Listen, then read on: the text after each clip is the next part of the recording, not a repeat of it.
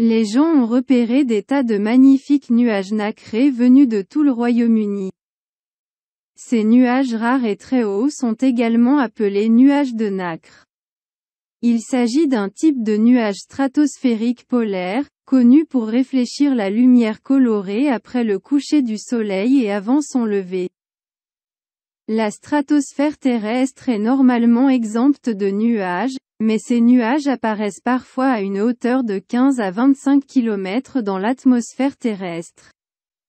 On dit qu'ils ont des couleurs plus arc-en-ciel que les nuages irisés observés assez couramment dans le monde, à des latitudes plus basses.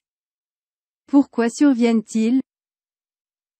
Les collègues du site atmosphérique Optics a publié une belle explication de ces nuages, après une autre épidémie au Royaume-Uni en février 2016, en disant Les nuages nacrés, parfois appelés nuages de nacre, sont rares mais une fois observés, ils ne sont jamais oubliés.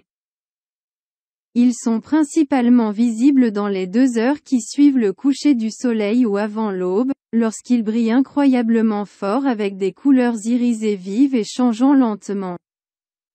Ce sont des feuilles filmeuses qui s'enroulent et se déroulent lentement, s'étirent et se contractent dans le ciel semi-obscur.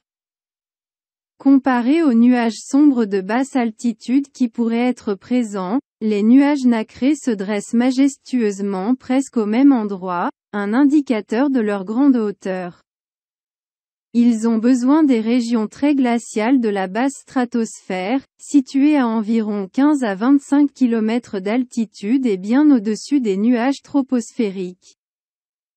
Ils sont si brillants après le coucher du soleil et avant l'aube parce qu'à ces hauteurs, ils sont encore éclairés par le soleil.